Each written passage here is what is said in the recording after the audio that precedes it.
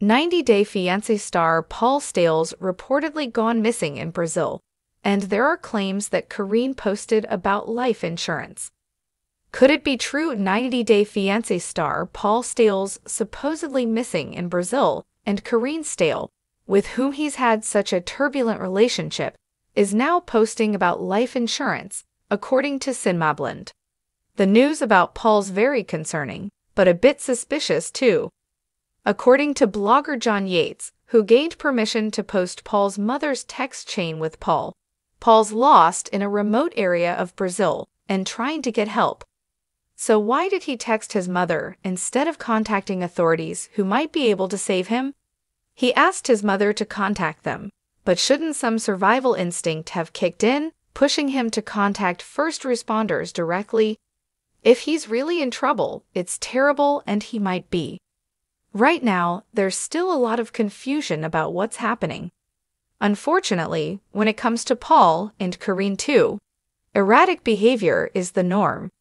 Sometimes, during his 90 DF franchise appearances, it's been hard to watch Paul because there was clearly something wrong.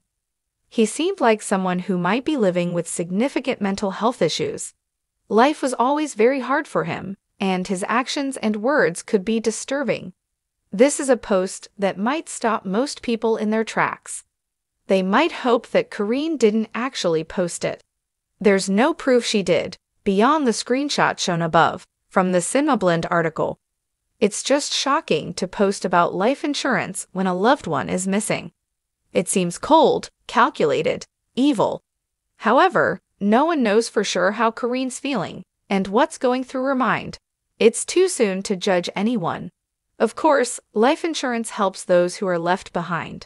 When loved ones pass away, finances are a concern, on top of all the heartbreak. However, all of that being said, it's way too soon to post something like this, which should be probably never be posted at all. Hopefully, Paul will be ok. He's made some mistakes over the years, and in his text chain with his mother, he said that he asterisk kicked up. His mother, whom he used to depend on a lot, maybe too much, must be worried sick. Also, Paul has two young sons, Ethan and Pierre. With any luck, Paul will be located and be safe and sound. As he's done strange things before, it's natural to be skeptical about news that involves him. But if this situation is real, it may end in tragedy. 90 Day Fiancé star Paul's circumstances are now widely known so hopefully someone is helping him to get home.